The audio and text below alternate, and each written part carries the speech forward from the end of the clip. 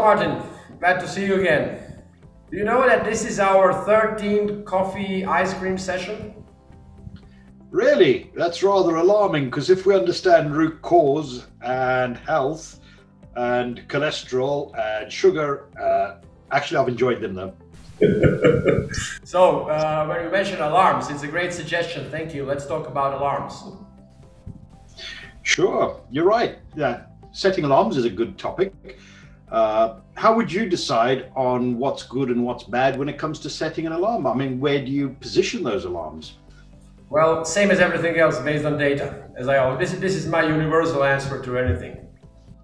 There's a lot of talk about baseline numbers, and for example, eight decibels requires some lubrication. Twelve decibels might be minor uh, damage, and so on. And in fact, as I jokingly say, you know, when you get to sort of above 32 decibels, you probably shouldn't be listening at the headphones there. You should be running as fast as possible because the bearing's about to fail yeah, you shouldn't be there.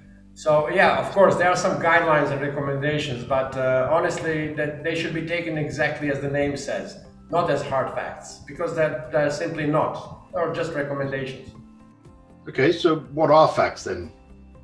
Uh, the facts are in your data.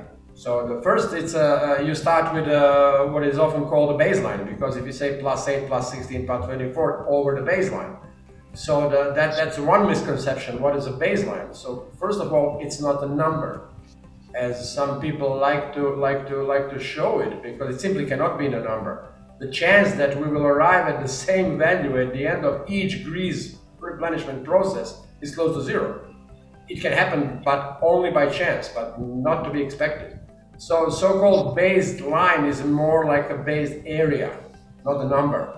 So once, yep. once we take it as an area, that alarms will look much more logical. So it, it, okay. there's no chance we will end up with same number because it's simply wrong, and it will confuse users, and it it in, it set up completely wrong expectations. On top of them, the base area can and will change under certain conditions. You cannot expect the bearing to have the same base baseline to entire uh, operating life It's simply not realistic. However, it's a really nice marketing story. Sure. I mean, to take your analogy, then it's a bit like a fingerprint. Everything's unique and it starts as an identifier. Exactly. Uh, so, yeah, it makes a lot of sense. Base area. Where do we go from there? So, the next question is alarm level how much plus how much? That's, that, that's a critical question. So, that's a, that's a usual question and again, a source of a lot of confusion. It can be plus 8, plus 16, 24, or why not plus 6, plus 12, plus 18. There are different recommendations out there. And they might be helpful the first time you replenish grease and you want to start from somewhere, you want to build your program. But those numbers are not the rule, at least in my opinion. So because plus 4, plus 8, plus 12 can be as good, or any other number. So the question, I will answer your question with a question, is what is data telling us, just like always? Uh, what is the difference between good and bad? What if that, that difference is plus 4 dB micro and you are waiting for 8?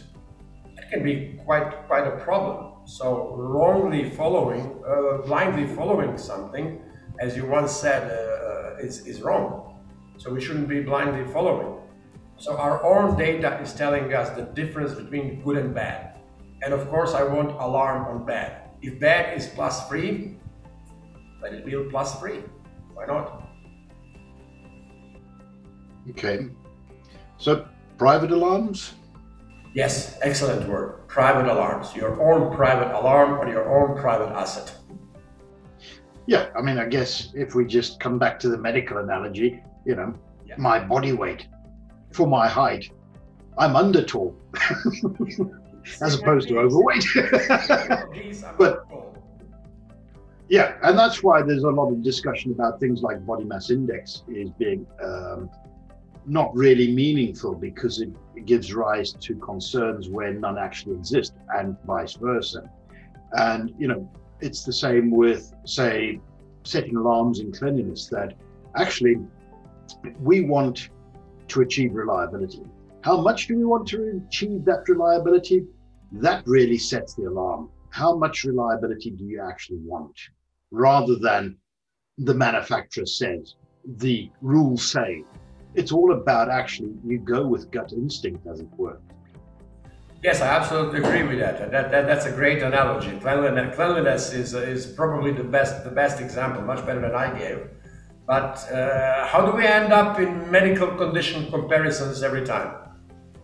Because too much ice cream, too much coffee. It seems that food grade grease would be a great refreshment in our diet. okay, uh, speaking of that, there should be some some some jogging and running around done this week, right? Yep. Okay. Watch me. so you'll be back in a week for next session? Yeah, absolutely. Yeah. Great. Okay. Martin, see you next Monday. Great. See you next Monday. Bye. Bye.